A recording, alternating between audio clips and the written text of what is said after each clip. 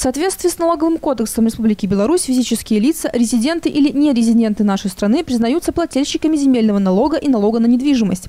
Последним облагается капитальное строение, их части, а также машины места, расположенные на территории Республики Беларусь. Налог на недвижимость уплачивают физические лица, у которых э, в собственности либо доля в праве собственности на два и более жилых помещений в одноквартирном или многоквартирном жилом доме.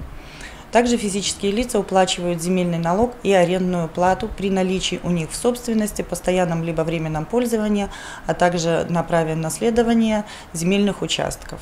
Если человек имеет две или более квартиры, налог на недвижимость можно платить за одну из них по выбору. Для этого вам необходимо предоставить налоговый орган по месту жительства письменное заявление с указанием в нем адресов принадлежащих вам помещений.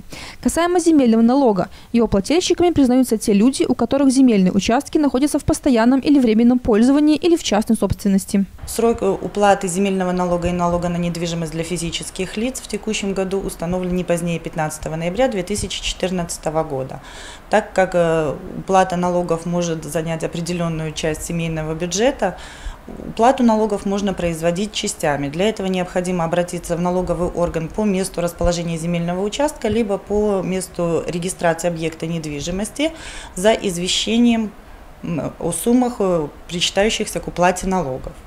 После получения извещения уплату налогов можно производить частями.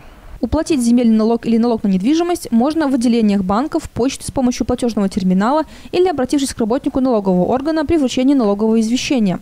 Также для ряда лиц законодательством предусмотрены льготы по уплате вышеуказанных налогов. По всем интересующим и проблемным вопросам следует обращаться в отделы консультации налоговых инспекций по месту жительства.